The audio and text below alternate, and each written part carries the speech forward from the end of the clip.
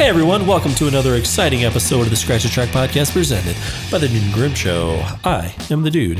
And I am Grim, and we are very excited on this day to be discussing one of my personal favorites, Rage Against the Machine, Evil Empire.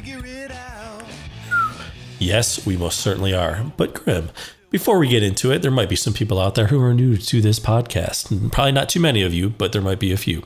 So we just want to let you know that this is the podcast where we pick some of our favorite albums, we discuss them, and we discuss each song on the album. Ain't that right, Grim?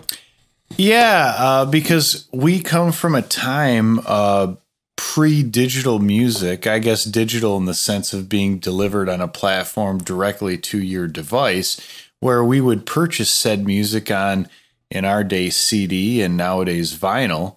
And what happens sometimes is that, you know, as you wear these out through the years, tracks get scratched and you get the tick, tick, tick, or the needle jumps on the record.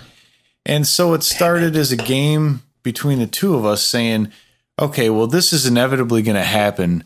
But given some of our favorite albums, if you had to pick one that it was going to happen to, what's your scratch? And so here we So sit. Yep.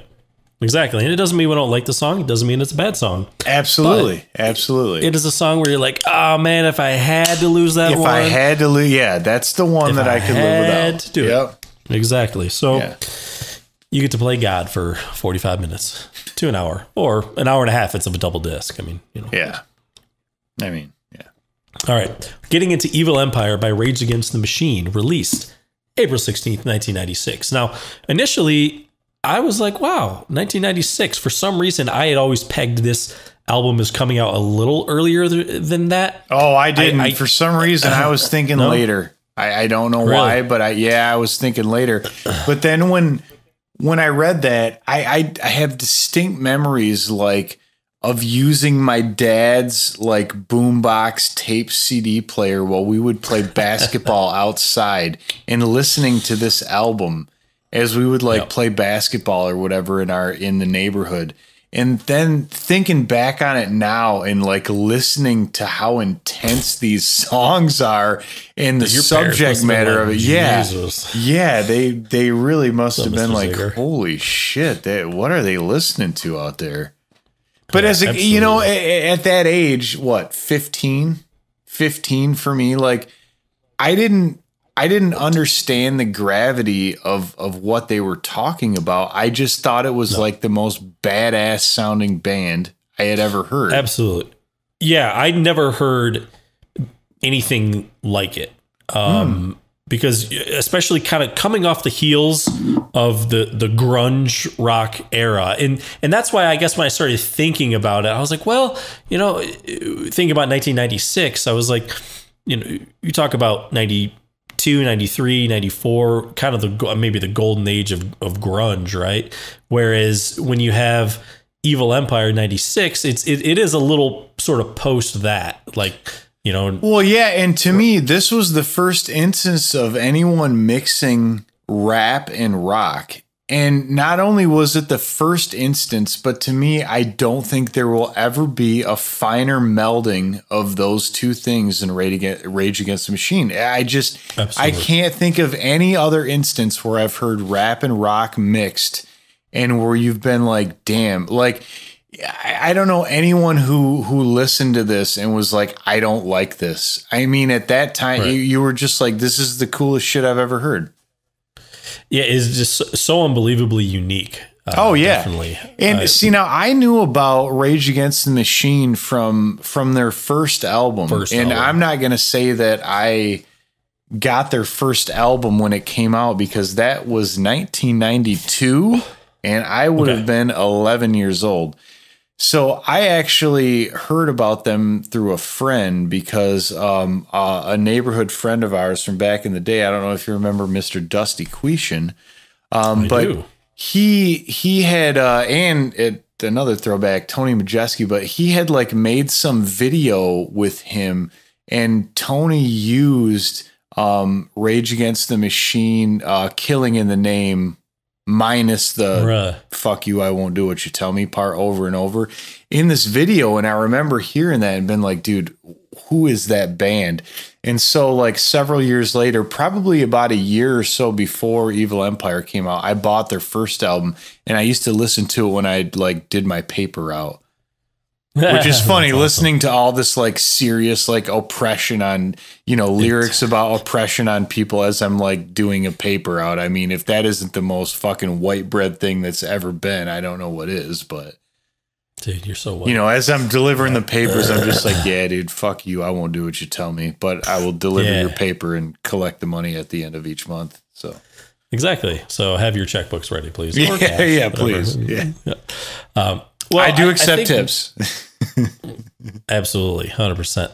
Well, this to me, and uh, I mean, I know we talked a little bit. I didn't find out too much about the production, but Brendan O'Brien produced this album. Who has done? I mean, STP, Pearl Jam. He was uh, he assisted. Um, what's uh, Rick Hot Rubin Chili- on the Red Hot Red Yeah, Chili Red Peppers, Chili Blood Sugar Sex Magik. So I mean, he he was you know tutored by pretty much the living legend, and Dude, he is a I- phenomenal producer himself. I, I would argue the most important producer of of '90s rock. I, I mean, Sure. seriously, if you could, if you could like pin that many great albums in that decade to one guy, I mean, I I look forward to when we do producer spotlight and we can just do the list of the shit he's done Oh. because it is phenomenal. It's a long list. And, And really you good know, before we get into the long list, I would, I think we should probably ask everyone if you haven't already to probably go ahead, um, you know. Like, subscribe, and Yeah. comment below. yeah. Well, now that Did we do done that already? I feel like we didn't. you know, even if we did, no, we didn't. Okay. No, we, we gave the whole we gave the whole hey what we're about speech, but I really Yeah, liked okay. you snuck that in. It was it was pretty good. So, I, dude, um, you know, I got to well- look out for us. What one thing? There's a few things I'd like I'd like to talk about uh, the way of the future um, with just their music in general. Listening to them, and you've you've kind of cited this already. An extremely political band, right? Yeah. I mean, that's what really stands out, and I just feel like this day and age, and I God, I sound like such an old person saying that. Musicians are not like this, at least in popular music. Rage Against the Machine, at the time that they were out, dude, they were on the radio, they were on MTV. Like this was Oh yeah, pop, like like top 10 popular music, everybody listening to it, everybody knew it, everybody had this album. Everybody, you know the album cover when you see it, like, and we'll talk about that maybe in, in a second. But I just feel like music today doesn't. it's I don't know if they could get away with it. popular everything's music everything's yeah, so, everything's that's- so that's good point. PC and so watered down. I don't know if you could get away with this album today on a major label. I, I really definitely- don't. You'd piss somebody off, right? Oh God, yes. I mean, you you piss somebody off by just telling them it's a beautiful day outside. How dare you? How, how dare you? You don't even know what beauty. Yeah, anyways. But um, it, it, it's interesting because now bands, you know, a lot of bands who sort of are political, you know, they they hold benefit events and benefit concerts, but there's not this this huge kind of uproar. There's not there's not like a band that I feel like in in popular music that people gravitate and, and really just sort of speak to that. And and that's one thing that they they really really do and i mean rage is an extreme example of that but still i mean it's they're they're they're really good at it i just i just feel like people don't do that today Yeah, but they they did stuff too. Like there was uh there was like some sort of a benefit or something from Mumia, who's a, a gentleman who was like killed in in prison, uh, I believe. And and I mean they would they would like go to these events and play concerts probably for free just just because like it, it was so much about what they were behind and what they believed. Sure. Well didn't they like play a show right outside the republican national convention or something? I believe Wasn't it- so. Yeah. yeah. So that was just kind of like hey fuck you. Well uh, that's that's pretty dope. Um so One thing I like also- about him too is, and this is not necessarily on the political tangent or anything, um, but I think it's cool that since their inception, the four members of them have remained consistent. That is true. They they've gone off and done other projects. Yeah. and- Oh, absolutely. And, whatnot. But but Rage Against the Machine seems to be it's, it's has remained the Machine. consistent. Like if you look them up, you're not going to see like this big past members list. Like the Right. four of them had that chemistry, and and that's that's what they did, and it was awesome. Totally, and totally. dude, I just I never I had never I, I will never forget listening to them the, for the first time, and I was like I've I've just never heard anything as badass as this. Uh, Absolutely. Well, and, and that to me sort of goes to, um, I mean, you talked to you talked a little bit about the melding of genres of kind of kind of the rap and the rock and everything. Yeah. Um, and talking about just you know their music being political, but a couple more things. I mean, one talking about I, I think we should have to talk about you know Tom Morello is a guitarist, and I don't. I- it's on and- my list. Yeah, Absolutely. and, and I don't I don't necessarily want to be like, ah, he's you know, this person's the greatest, this person's the best, anything. But but one thing about him and um in a weird way, I sort of compare him. And recently, we just did an episode on the Mars Volta uh, with uh, Omar Rodriguez Lopez. They are two of the most unique guitar Yes. players. Yes. that that is that is really what stood out to me. Um, when you listen to Tom Morello, I'm like, I- I'd never heard some of those sounds before. I just had never heard that. No, I, I had neither. And the thing is, is, if you listen to some of, okay, so Rage Against the Machine did a song on the Crow soundtrack. Um, I, I forget the, which the, one. The name is slipping away from me at the moment, but I, I think that if you didn't, if you didn't know a lot about Tom Morello as a guitarist and you just listened to Rage, you could you could sit there and say, okay, this is kind of a gimmick. Like he just makes noises on his guitar. But the thing is, in that song particular, I, I referenced that one because it's like almost kind of like jazz influence, and you hear how Darkness. dark yeah darkness you hear how well he can play. Like and, and that's just one example. I mean he's got this other um another side project called the night watchman and he's done a bunch of other stuff. I the guy Played is a- Audio Slave. yeah, I oh mean, yeah but i can't believe i didn't mention that one. Um but yeah, yeah the thing is he can he can play the the quote unquote regular guitar very well. But what i think was so interesting about his approach in rage against the machine is like it wasn't just a guitar. It was a synthesizer. It was a turntable. It was a sampler. I mean he he that was part of that melding was what he did with the guitar where he he brought it to the table as like this isn't just six strings in an amplifier anymore. It can be like whatever i make it to be because Sure. I mean, I think of like the to me the breakout single or like the biggest single on that album is Bulls on Parade. I mean, you know, it has to be. And there's that middle section where instead of doing a mm-hmm. solo, he's using the wah pedal and he's basically making it sound like somebody scratching a record. I mean, that's Totally. that is It's I I I, I so don't unique, think man. anyone had Original. heard anything like that before. Nope. Nope. Well, and on a personal note, I think we should give a little shout out to our good friend and high school classmate, Miss Tatiana Shrutva, um, because she used to work at House of Blues in Chicago, and she would work the the backstage area and kind of cater to the artists and make sure they had everything they needed. And Tom Morello played a show at House of Blues. I remember her just telling me that she so she get to meet you know Oh, Tom cool. Morello. She met Jay Jay Z, and she said that Tom Morello was just really, really good guy, nice guy, polite, and everything. Which, which is something you want to hear from you know artists that you kind of like and admire and everything. Yeah, like, oh, okay, cool. these guys aren't aren't just assholes or something like that. Like, actually, like a like a good dude. So That's funny. um, I actually but- ran into her at the doctor's office like a few months ago. Yeah. So, I hope you're listening to this. Yeah. Yeah. Um, now, another thing with this album, if you want to talk about, um, uh, uh, you know, the lyrics and everything, um, you know, Zach De La Rocha, unbelievably well-read person. Oh, Like, yeah. I mean, the, the references and the things. You that- talk about the that- list of that- books? no, I'm not. But there Oh. is a long list of books. I mean, because it's so long.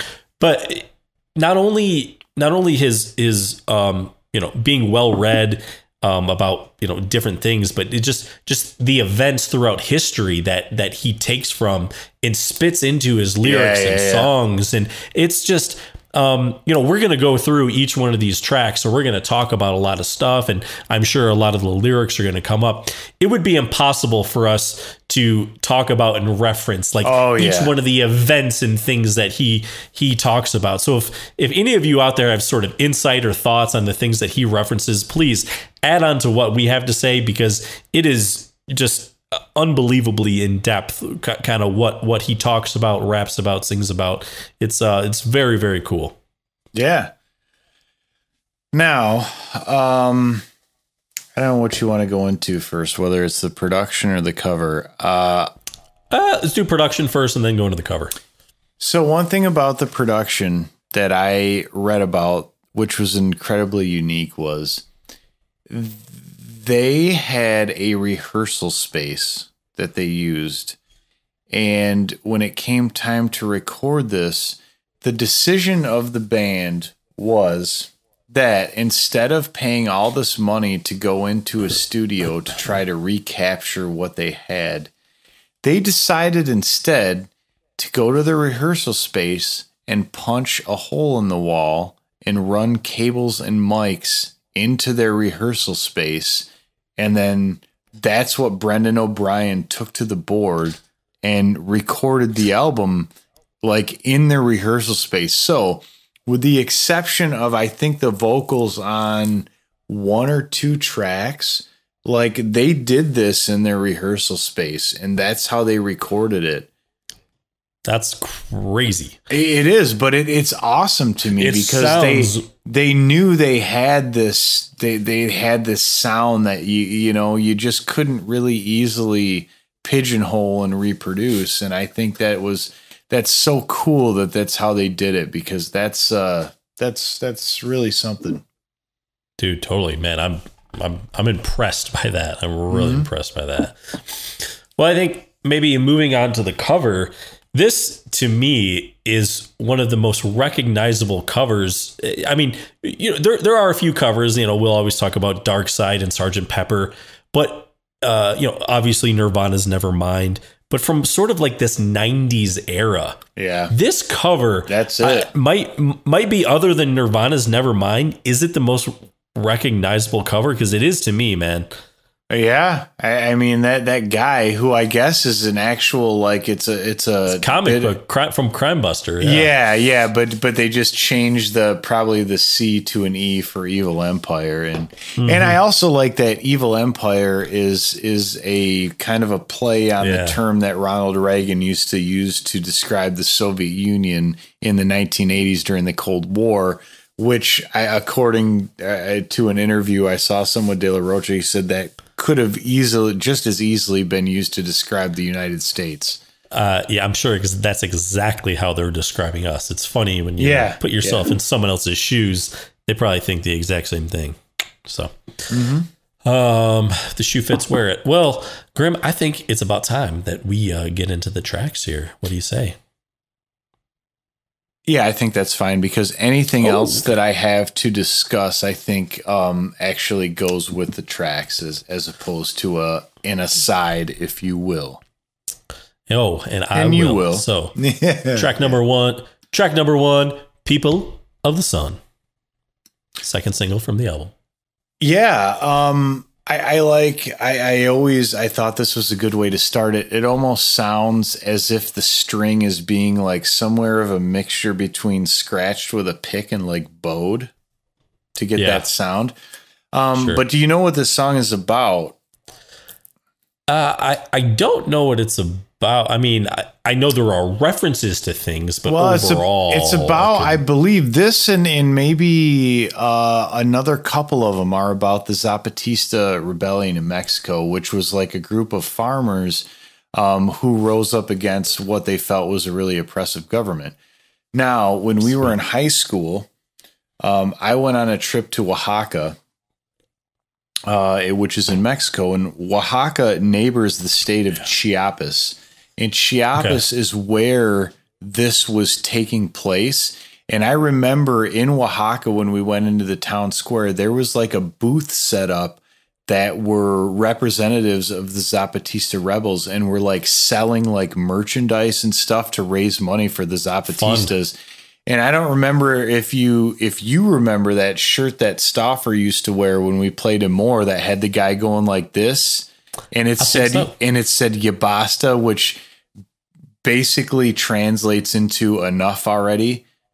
Which Sweet. that I that like I that. bought that I like shirt. that. I Ah. bought that shirt from the Zapatista like rebel um representatives because I thought it was Sweet, cool man. that like they were they were you know in support of that and it was it was interesting.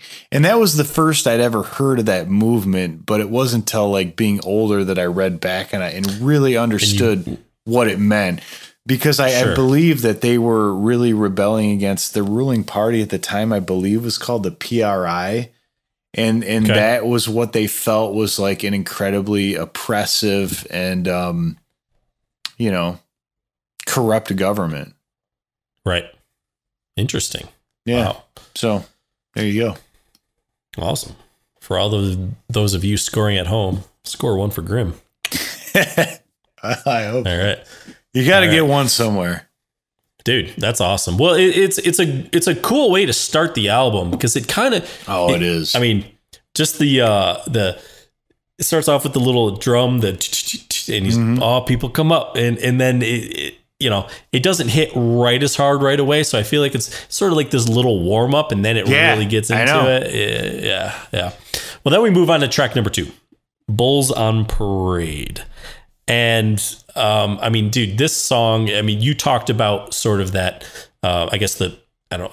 You want to call it a solo? I don't. I don't know what you. I, I guess. yeah, but it, it was it was basically it was like a record scratch, but it was done on the guitar, and that that was what was done in place of your standard guitar solo, which is cool. right. Right. And Well, we saw I mean, the video on MTV. How many times? I mean, A, a billion. Yeah. yeah, So, well, I mean, it says they're talking about that. It was done by toggling two pickups, one on and one off, while rubbing his hands on the strings over the pickups. Oh That's yeah, kinda- dude, you can hear some of that. You can hear similar. Now he doesn't. Jimi Hendrix wouldn't rub his hands, but you can hear the the um the pickup switch because if you do it, it can kind of act like a wah pedal. You know, where it changes like the kind of the the sound frequency range that you're hearing from like low to high. Um, You can hear Hendrix do that in like the in, in Band of Gypsys a lot. You can hear him kind of toggling the pickup switch and making that Sure. sound, but he doesn't do it with the like the scratching thing. I thought he did that with a wah, but that's interesting that he does it just with the pickup selector. Hmm. But it does the same thing, but the pickup selector, like the thing with a wah is it it it like it it's like a fader. You know, Okay. it, it goes in and out. Where a pickup selector, depending on how many different positions it have, is is basically like on and off. I got But you. it, but it Yeah, can still sure. give you that effect, and, and in fact, that could give you a more percussive effect because you don't have that that sweep, right? It's it's right, just right, right. You know, It's it's it's more it's choppy. It doesn't flow. yeah, right? yeah, yeah, yeah, That's that's Gotcha. exactly it. Now, Gotcha. one thing about Bulls on Parade. Now, the the video was very political, and we saw that a bunch of times. Now, one thing I did not know until reading about this album was that they performed on Saturday Night Live in 1996. Oh wow. Okay. Okay. So the first song that they performed on the show was Bulls on Parade, right? And one of the Sure. things that they did is when they performed on their amps, like the big speaker cabinets of their amps, they had American flags draped over them that were upside down. Right down. And the producers asked them to remove those when they performed, and they did not remove them. They came out when it was their when it was their time to perform, and they performed Bulls on Parade, and they had the flags upside down. That would mark the last performance that they would ever do on SNL. In fact, they were banned for life from performing on that show because they sure. refused to do that. And I think after Good the for them. performance, like they they didn't like hang around and party with the cast. They just like got the fuck out of there. I can see so I would say I understand all the political things, but given all that, I would still have to throw down a big fat What the fuck is that shit? for that thing to SNL. Market. Awesome. Well, I think uh, we can probably move on to Vietnow, Mr. Grimm. What do you say? Yeah. Oh yeah. Yeah. Well, I thought it was cool. You know, uh, the a lot of the the lyrics. Um, uh, in case you guys don't know, the uh, uh, Rage Against the Machine they they they lean a little more liberal, right? Um, Typically, so- yeah. Yeah. Uh-huh. a little more to the left. Um, but you know, the lyrics to this song are you know kind of shots at the. Uh, you could say the the right wing right wing uh, AM radio shows. People like the the late not so great Rush Limbaugh. Oh, Um, Sean Hannity's, all those fucking dickheads. Yeah, Yeah. so, tell us how you really. And feel. I didn't, dude. Uh, I didn't know that. It, it like I didn't really know that until I read about this, and then it all made sense. And you, dude, tears Yeah. the product you push.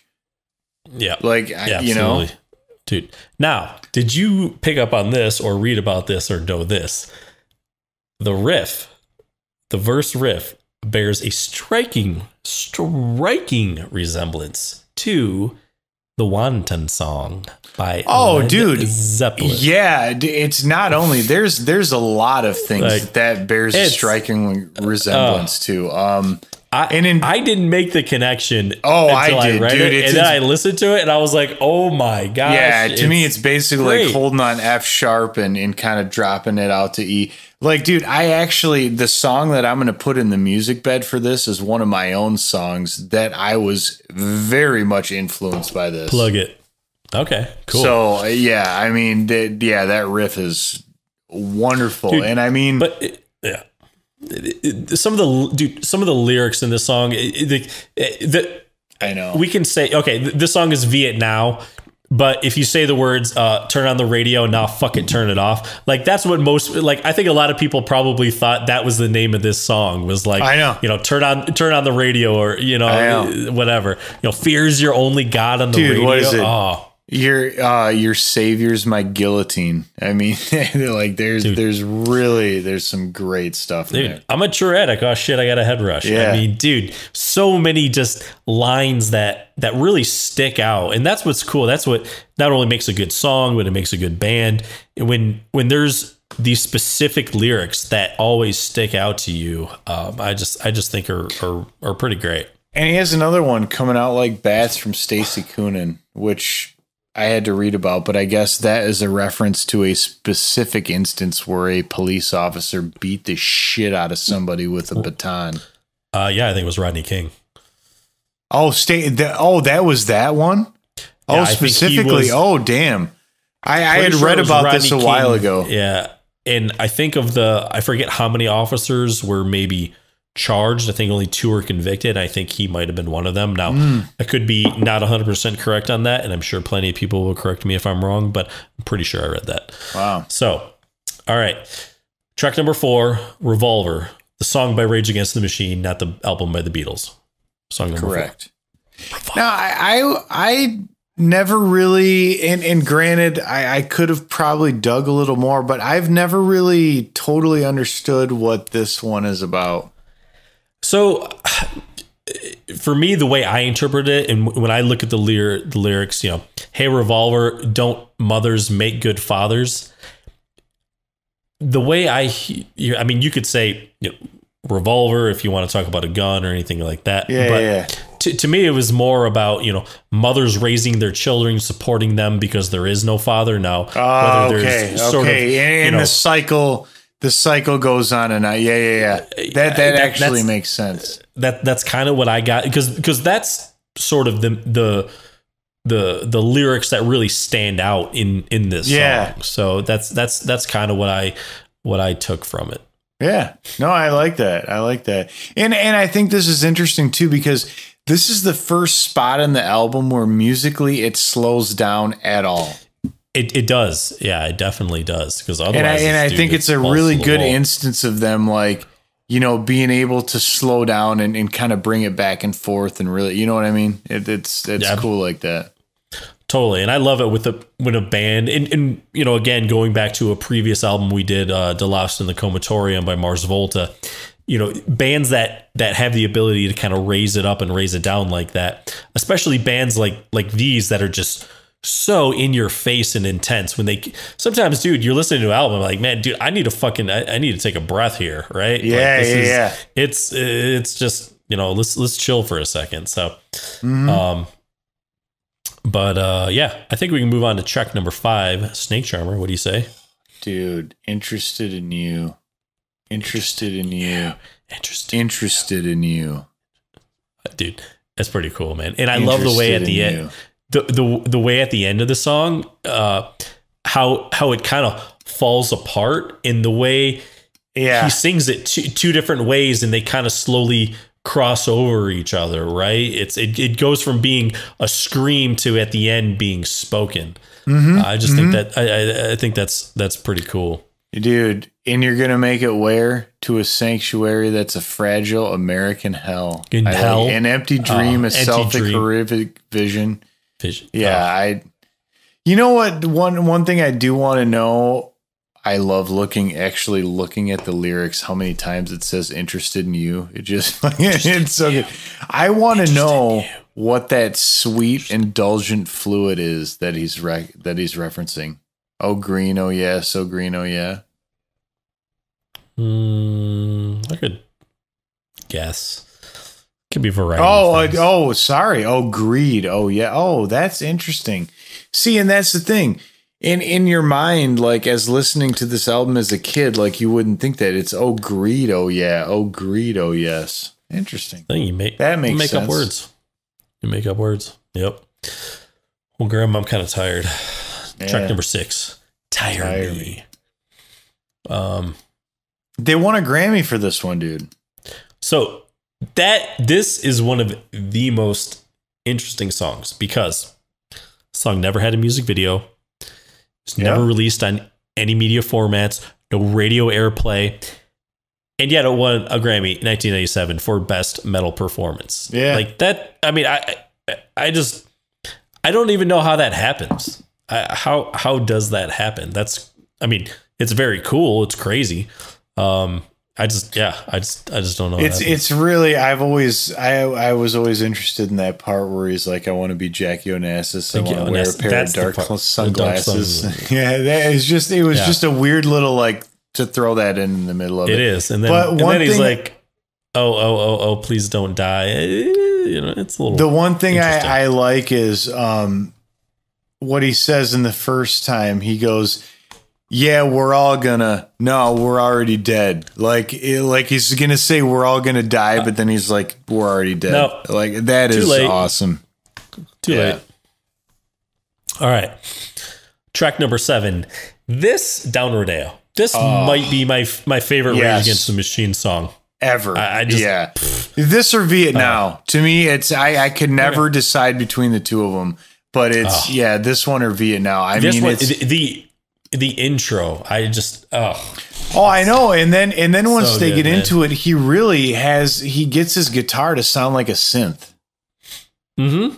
You know, Dude. and it's it's so it's it, it's so so fucking cool. These people ain't seen a brown skinned man since their grandparents Oh, bought one. I mean, bought one. Fuck yes, dude. And dude- dude, it's rolling just down the Rodeo imagery with a shotgun. with a shotgun. Yeah, that imagery itself is amazing. Dude, can't waste a day when the night brings the hearse. So make a move and plead the fifth because you can't, you can't plead, plead the the first. first. And I like it where he says, uh, funk the track, my verbs f- sly like the family stone. That is a fucking sweet reference right there. Just yeah, slide. yeah. dude.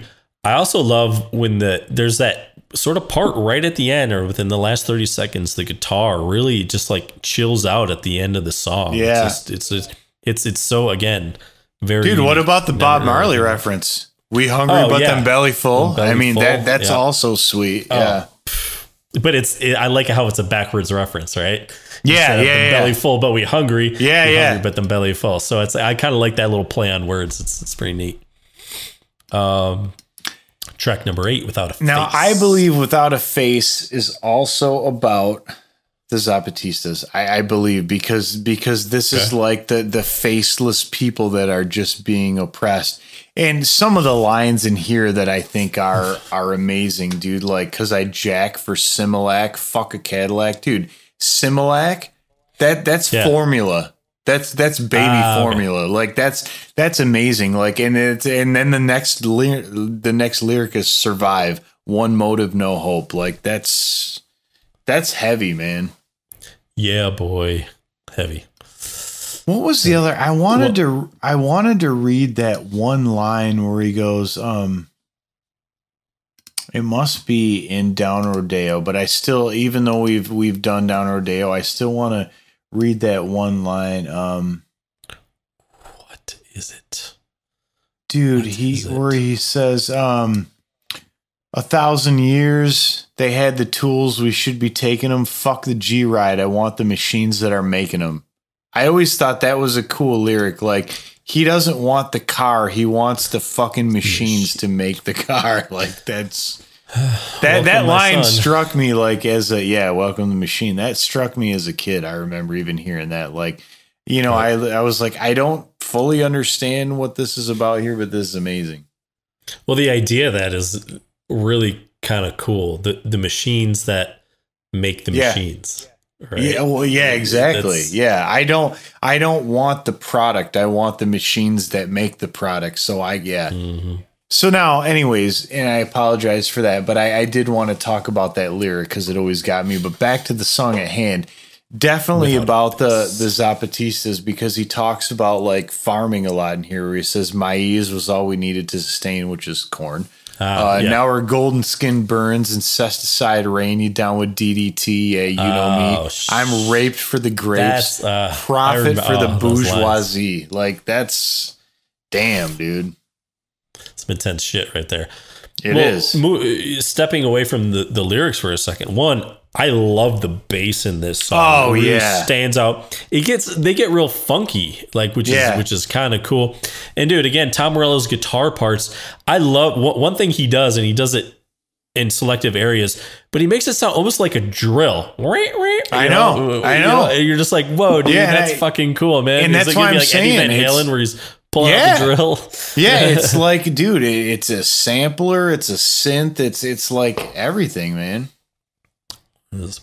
Track number nine, Wind Below. Don't you know? Yeah, and and this is interesting because I think this is talking about sort of like the trade, like like bigger like global trade. Because he specifically Totally. mentions NAFTA coming with a new disaster in this one, Uh-huh. and and dude, um, what does he say? The devil's mouth dry now. Mexico burns. Um, so here they come one by one. Them killers of the new frontier, occupy, causing fear. Come on, I mean. Well, he talks about, dude, eh, yeah, all the shareholders going to flex and, and Oh, yeah, annex- at the end, annex yeah. the truth, and then in GE going to flex and try to annex the And truth. Disney, NBC yeah, he mentions gonna flex, NBC, Disney, Disney, ABC, yeah. Come on, what about Fox, man? Come on, he's he's Oh, yeah. so left wing, bro. Throwing Well, Fox. I don't. Yeah, I don't think Fox was really that big then. They No. still. Yeah. Actually, dude, I don't even know. I mean, you could say he's left wing. I don't. He, he's his own wing. Yeah. Yeah. He's, True. dude, Zach is up. That's where he is. He's not left. He's not right. He's up. So, Yeah. all right, let's roll right, Graham. Roll right. Roll call. Roll call. Um, dude, intro has a really really cool riff. Mm-hmm. Um, again, again, I you know how he does them a whole bunch of different ways. Dude, mainline adrenaline. Uh, sorry, mainline adrenaline. Gaza to Tiananmen. I mean, that's an interesting like you know because all the all the controversy that's that's happened at like the the Gaza Strip and everything with like Israel, you know that whole area, and then to take it to Tiananmen Square, you know, because that's the imagery of like the tank coming at Right, that guy, yeah. and he keeps. I mean, Oh. that's dude, dude. really interesting. Amazing Really interesting. images. Yeah. Well, some of the lyrics, you know, here comes the hand on leashes, the cross, the capital, the pale families, the fear, and the mouthpieces. in their mouthpiece yeah but my and, you know and is, is amazing as the the lyrics are um dude, I love the end parts. Send them to the seventh level, like where they get into that different riff for their lives and my lives were never settled. Like, oh, and, and the way they end it, like, send them to, oh, dude, it, it's like, this was one of these albums, like, you know how some albums that we've done, we've we've known throughout our lives, and you you listen to them and you're like, oh man, that's a good album. Like it was good to to revisit it. This is one where I'm like listening to it and I'm just like, you know, if I'm in my car, if I'm running, I'm like yelling it at this point, like, send them to, you know. Oh man, it's like it's so good. So good. Dude, it is. It is, man. All right, Grim. You're the Boomerang. The last This- one when, when it's all gonna come back. It's all gonna It's come kind of back. an in- dude, kind of an interesting song because it was actually released in '94 for the Higher Learning soundtrack. I don't know if you remember that movie. I Um, do. It was that John Hughes. Am I? Uh, I don't know if John Hughes did it, but I think No, not John Banks Hughes. John Singleton, right? John God, Singleton. that. yeah. Oh my God, that was Johns. embarrassing. I'm sorry. Um, that was really dumb. Yeah. Um, but dude, so th- there are different versions of it. So in the higher learning version, there's like more of a prominent bass, has more of a hip hop feel. And then Evil Empire, the the guitars and are, are kind of mixed in. They're a little heavier. And boy, the so- sound on that guitar that he gets at, you know. Yeah, and and I didn't go back and listen to the higher learning version. It would be very interesting. I didn't either to- because this to- is the one that. Yeah. compare them. Yeah. Um, I mean, I saw that movie, I think once and, um, it, it was a long time ago. Well, Yeah. 1994, probably when 95 when it came out. But, um, but yeah, I don't know. I, I, I kind of, li- I like the beginning of this song where the, I don't know if it sounds like, is it like finger picking or something? He's doing something interesting. I don't know It's- what it's- exactly he's doing, and, and that's what I what I kind of like about some of these guitar parts, especially looking back on it now as a guitar player and being like th- thinking to myself, what an interesting approach it is. There are some things where he's doing, and I can envision what he's doing to make that sound. The beginning Sure. of this song, I no fucking clue. I'd actually need to like watch live video to see. Yeah. So if anybody out there knows or has theories, Yeah, please let please. us know. Comment below. Um, yeah, dude. It, and then you know the song ends kind of. It, it's really weird. It just kind of has this weird sort of crazy ending, and then it just kind of cuts. Very sort of not. I, I'd never heard them end a song like that before. Or anything. It just kind of kind of deconstructs. It's it's really weird. You know what I like is because this is all talking about like kind of kind of his like uh, a lot of like beliefs, philosophies. Dude, it's dark now in Dachau and I'm screaming from within. Dude, Fuck, man. Enslaved by dogma, talk about my birthrights. Like, yeah. There, like you said earlier, some of some of his lyrics are just like, man, They're um, Grim. Grim. they're a middle they're- finger and a fist at the same time.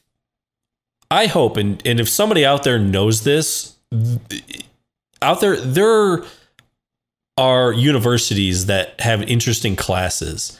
There should be a college class or course just kind of examining and deconstructing his lyrics. Yeah. You know, th- there are some really. I mean, you hear about some universities and stuff where they have like, oh, like isn't there one that I don't know, it talks about Radiohead or it's like, you know, certain music classes and stuff where it's like focused on one thing. Like there should be a writing class. And I don't even know if it would fall, dude, within music. I don't even know if it'd be a writing class. It could be like a history class or something, just talking about and examining Zach De La Rocha's lyrics. Uh, because he has some phenomenal lyrics. Um, it, it's it's it's just they're so honest I Uh, and So and good. factual. I feel too. So God, I'm Um, so embarrassed about the John Hughes, John Singleton thing. Jesus. it's okay. Life goes on. the six people watching this will forgive you. Um, so Yet at every turn, I'm should. running into Hell's Gates. yeah, absolutely. So Graham, time to scratch. I feel like Hold on. I feel like with this album, we okay. Hold on. Before we scratch, dude, what's your favorite? Oh, Down Rodeo, easy, not even close.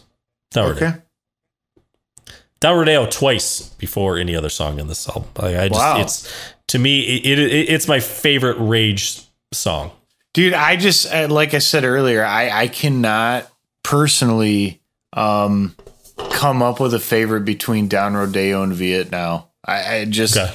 And, and like each one of those songs, if I'm listening to the album in a digital format, I will rewind it to listen to each like- one of those again.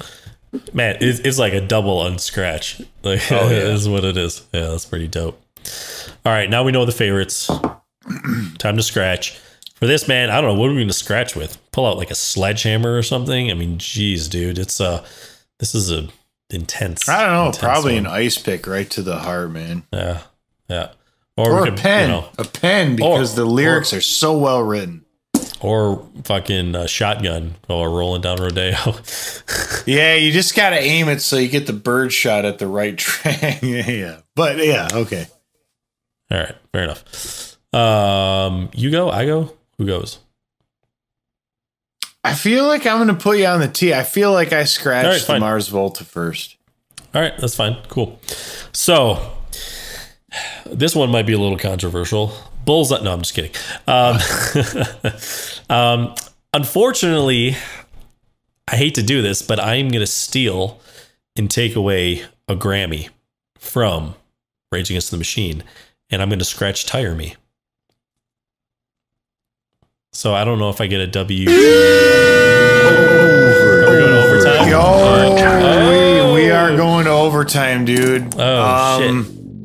Okay. And damn, and I will say this. I don't like, have a backup. I don't either. Like, dude, all these albums are really good albums and they are hard to scratch.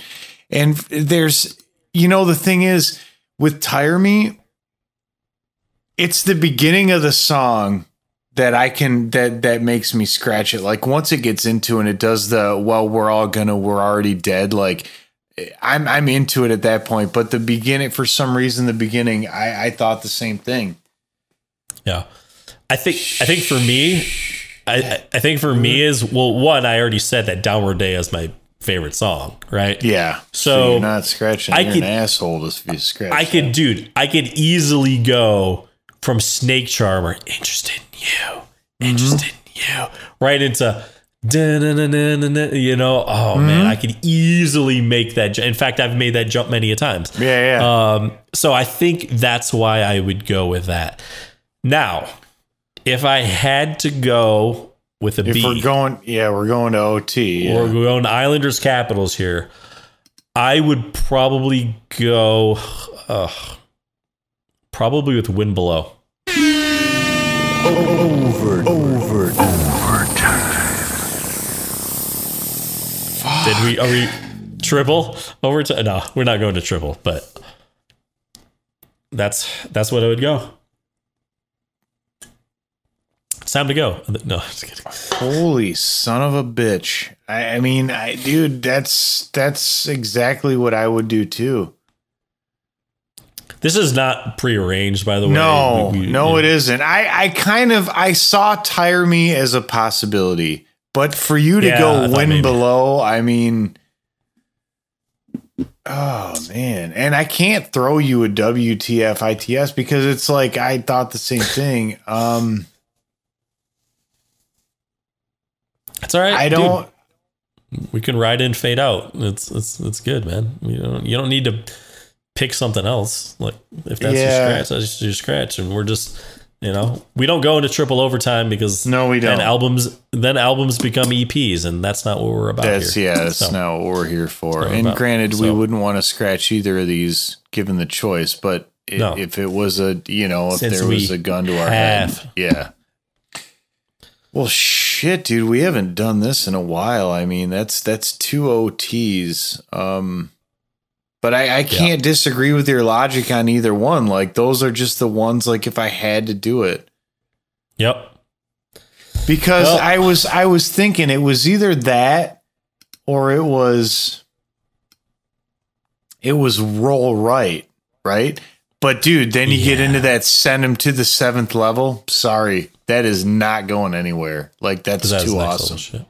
Yeah. So Yep. Well, the Islanders win the series and the game. and the game. Holy game. shit balls. So- what a what a country. All right, everyone. Well, please let us know your scratch below. We'd love to hear it. We know it's not easy, but it's not Yeah, supposed let to us be. know the win That's- below. Yeah, I would love to know everyone's scratches on this. Yeah. Also, let us know like what's your favorite Rage album? Is it this one? Maybe uh, the f- debut? Maybe a little uh, Battle of Los Dude, Angeles. Battle of LA like- is nothing to shake a stick at either. and we are not talking about the Los Angeles Lakers versus the Los Angeles Clippers either. So, No siree. all right, Grim. I think it's uh, time to let them go, and uh, it's time for us to go. What do you say? I think so too, dude. It was a, it was a good day. It's a good album. And you know what?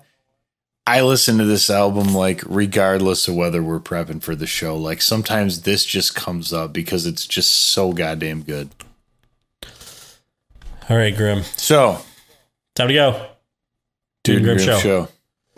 Interested in you. Interested, interested in you.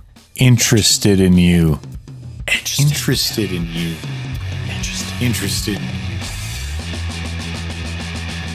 you. Track is produced by the Dude and Grim.